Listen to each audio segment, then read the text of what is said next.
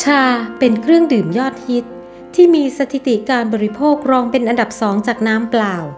การบริโภคชาแบบร้อนช่วยให้ร่างกายเบาสบาย ส่วนการบริโภคแบบเย็น ช่วยให้สดชื่น กระปรี้กระเป๋า เนื่องจากสารคาเฟอีนในใบชานั่นเอง ภายใต้วิสัยทัศน์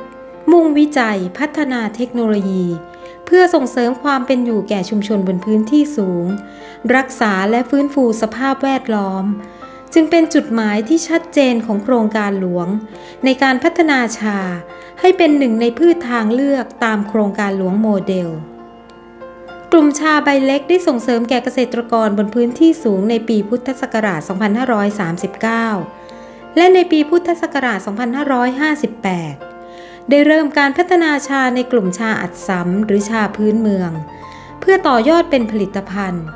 และยังถือได้ว่า ชาเป็นพืชที่ช่วยรักษาป่าต้นน้ำอีกด้วย จากนโยบายที่ชัดเจน ในการห้ามใช้สารเคมีในพืชเครื่องดื่ม และการปลูกพืชในระบบที่เป็นมิตรกับสิ่งแวดล้อมของโครงการหลวง รวมทั้ง